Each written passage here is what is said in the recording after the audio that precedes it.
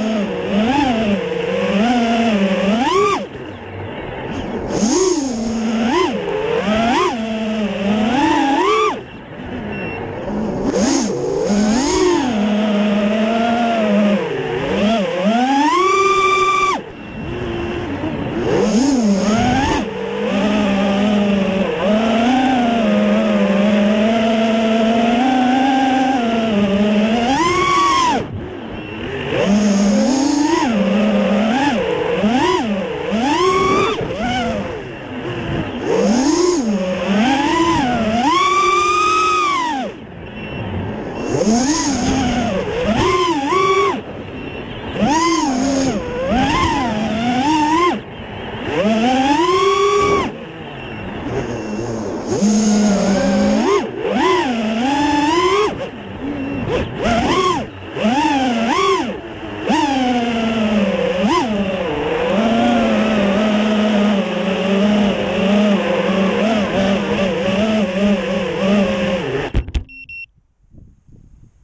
skriger godt nok også.